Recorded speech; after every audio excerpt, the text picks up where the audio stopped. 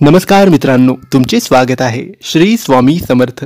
मित्रांनो ज्या घरातील स्त्रिया रोज सकाळी हा महालक्ष्मीचा मंत्र बोलत असतील तिथे सुख समाधान सुख समृद्धी धनसंपत्ती नेहमी कायम राहते.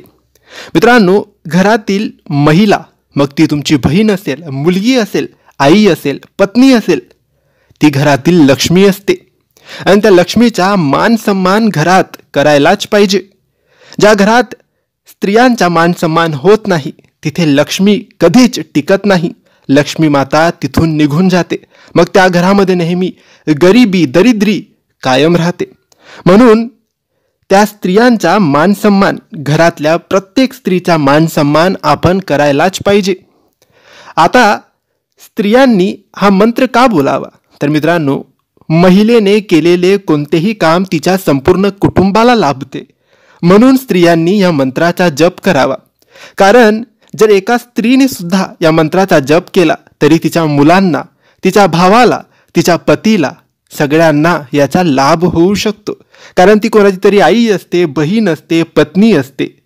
तर नक्की घरातील महिलेने रोज सकाळी हा मंत्राचा जप अवश्य करावा.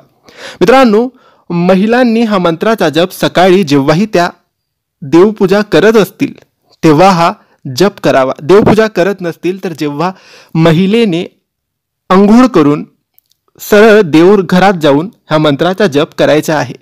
हा मंत्र महालक्ष्मीचा मंत्र आहे. लक्ष्मीला प्रसन्न करणारा हा मंत्र आहे. जर लक्ष्मी प्रसन्न झाली तर सगळं काही मिळू लागेल. तर हा मंत्र काही असा आहे. ओम महालक्ष्मी नमो नमहा ओम महालक्ष्मी नमो नमहा या मंत्राचा जप महिलेने एकशे आठ वेळेस म्हणजे संपूर्ण एक माळ करायचा आहे.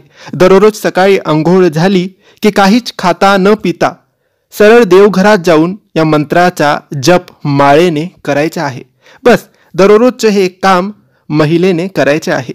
तर मित्रांनो ही माहिती तुम्हाला आवडली असेल तर लाईक आणि शेअर करा. काही प्रश्न असतील तर कमेंटद्वारे विचारा आणि आमच्या चॅनलला सबस्क्राईब करायला विसरू नका. धन्यवाद.